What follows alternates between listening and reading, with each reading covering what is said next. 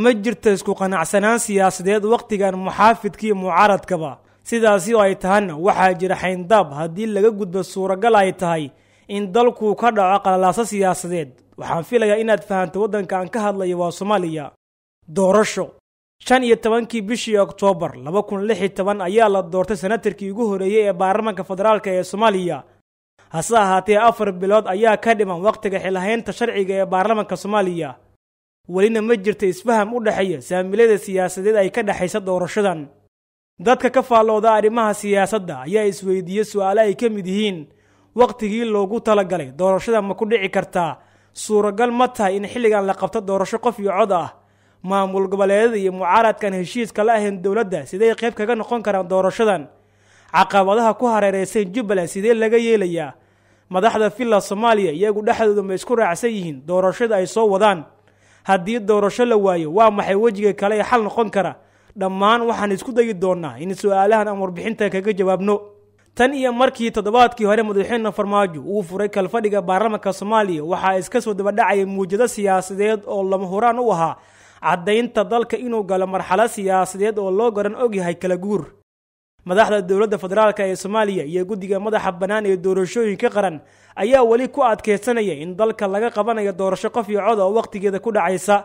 Hase yeeshee go'aankaas suuragal ma yahay waxaan weydiiyey madaxweynihii hore hirshabelle cali cabdulaahi cosoble baaxadda ay leedahay doorasho cod qof iyo cod ah ammaanka ay u baahan tahay in la sugo kala daadsanaanta yacni dadkii iyo degaanadii oo dhibaatooyin badan oo ka jiraan amniga xaggiisa ha noqoto ama israacsanaantii iyo waafaqsanaantii nidaam doorasho iyo arrimaha iyo kulli markii la yidhaahdo aniga waxaa ii muuqata inay adag tahay doorasho cadaalad ah oo one man one vote ah inay dhacdo. Doorasho dadban ayaa ii muuqanaysa. Xadkii la doono ha lala ekaysiiyo dadka wax dooranaya kursi walba u odaynaya laakiin waxaa ii muuqata bilxaqiiqa inaysan sahlanayn doorasho qof iyo cod ah. Waa laga yimid taa aniga sidaan is leeyahay shan iyo labaatankii bishan guddoomiyaha golaha aqalka sare cabdi xaashi cabdulaahi ayaa ku dhawaaqay shir wadahadal oo ay isugu imaanayaan madaxda dowladda federaalk ee soomaaliya iyo maamul goboleedada taas oo lagu soo gebagabeynayo khilaafyo soo jireen ahaa u dhexeeya xukuumadda muqdisho iyo dowlad goboleedyada kismaayo iyo garowe. Haddaba maqaam ceenkeeya ayay madaxda jubbaland kaga soo qaybgalayaan shirkaas maadaama dowladda federaalk ee soomaaliya ay qaadacdo doorashadu ku soo baxay madaxweyne madoobe. Waxaa ka jawaabaya wasiirka madaxtooyada jubbaland xirsi jaamac gaani.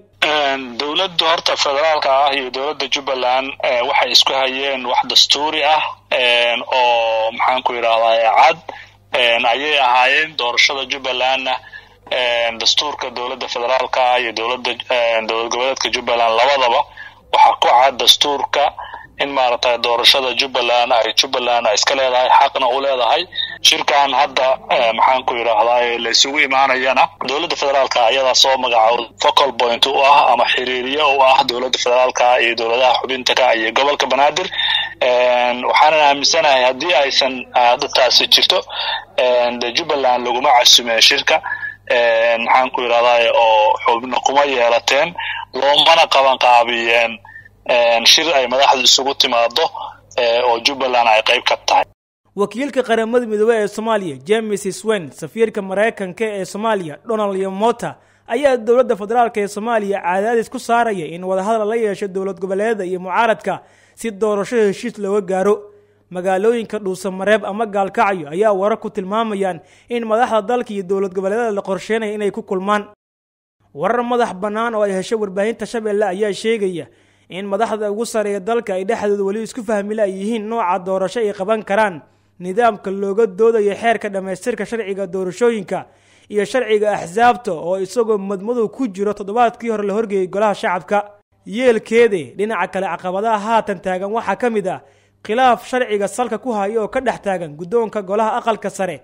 Haddii la waayo doorasho xor iyo xalaala waa maxay? Waxaa la filan karo? Waa kana adanjira caalin oo ah falanqeeye arrimaha siyaasadda soomaaliya oo ka jawaabaya arrintaa hadda xeerkan baarlamaanka hor yaalla waa xeer isagoo dhan iska soo horjeeda waa xeer golaha wasiiru soo saareen waa xeer ee guddi gadaal laga magacaabay ay soo sameeyeen waa xeer wadankii qataruu ku jira. Marka wadankii waxa laga rabaa in deganaansho siyaasadeed madaxweynaha sharafta cabdullahi farmaajo uu la yimaado waa in hadduu wakti aanu haysan oo afar sano ay ka baaba'day waa inuu soomaali weydiistaa siyaasiyiinta soomaalida weydiistaa in hadda khilaafyadan ku bareen maamul goboleedyada in dheed marku dhammaado madaxda mucaaradku ay magacaabanayaan madaxweyne prime minister iyo baarlamaan.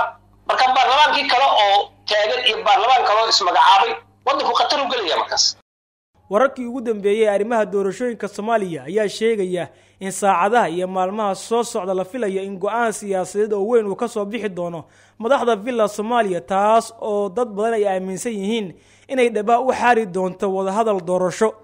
Dowladdu waa doorasho qof iyo cod ah. Mucaaradkuna waa ma suuragelayso. Waxaan sugnaaba waa halkay arrin saldhigato